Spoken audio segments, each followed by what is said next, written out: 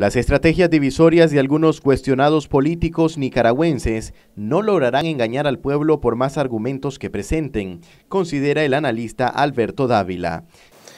Este tipo de acciones la gente las está analizando muy bien.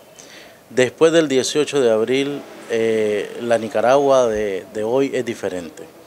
Los políticos que creen que pueden seguir engañando a la gente y que creen que con este tipo de malabares eh, van a conseguir algo, van por mal camino.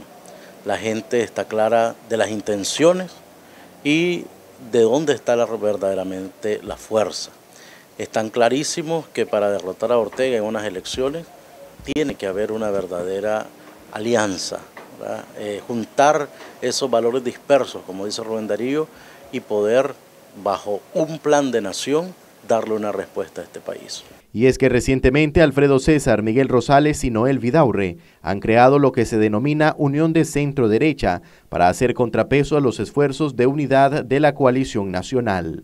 Eh, yo creo que el pueblo está clarísimo de las intenciones, está claro de quién quiere la unidad y quién no quiere la unidad. Y con esto, pues algunos políticos ya se están eh, poniendo en la acera de enfrente. Sigue caminando la coalición nacional, eh, ¿hay esperanza realmente en una verdadera eh, oposición hacia Ortega?